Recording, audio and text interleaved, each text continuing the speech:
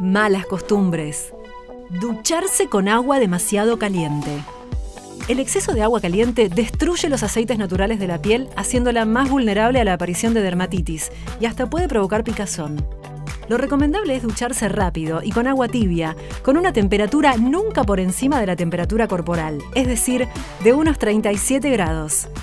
Si la superamos, dañamos la barrera protectora de la piel, que perderá humedad y a la larga podrían aparecer irritaciones, hinchazones e incluso arrugas. El popular baño relajante de inmersión, además, puede traernos muchos más problemas de los que imaginamos. Por ejemplo, el exceso de agua caliente está absolutamente contraindicado para las varices, porque al tratarse de una insuficiencia venosa crónica, hay una dilatación permanente durante todo el tiempo que empeora con el calor. El agua, si está a temperatura muy alta, destruye la barrera cutánea que protege la piel de agentes infecciosos o irritantes. Pasar periodos prolongados de tiempo bajo la ducha muy caliente puede tener efectos perjudiciales no solo para la dermis, sino también para el cabello.